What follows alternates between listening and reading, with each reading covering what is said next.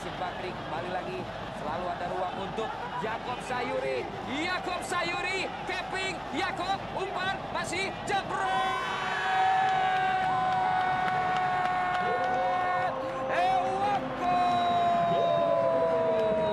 Kembali lagi empat kali Yakob Sayuri mendapatkan ruang untuk sempat mengontrol bola bahkan kali ini dia melakukan gerakan 378 dan kemudian bisa memberikan passing yang membingungkan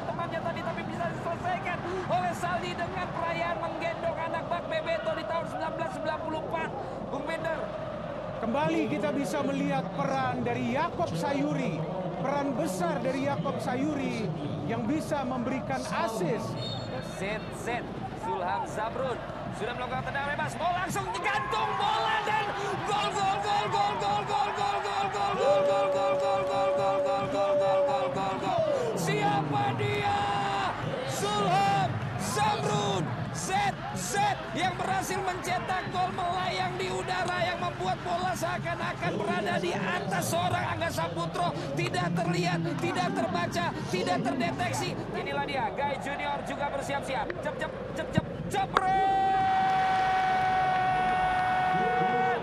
Ketenangan, pengalaman dan kemampuan untuk mengeksekusi dari penalti membuat Guy Junior mampu untuk mencetak gol bagi Borneo di Menpora 2021 ini tepat untuk guling break. Ya, eksekusi yang baik dari Guy Junior tenang. Crossing kali ini berbahaya.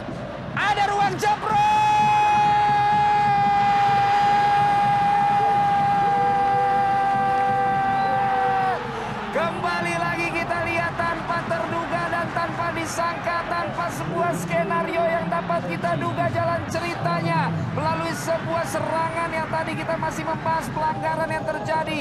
Ada scrimmage, ada peluang dan rival story yang masuk putra dari Halmahera Utara ini mampu mencetak gol penyama kedudukan siapa dia rival story.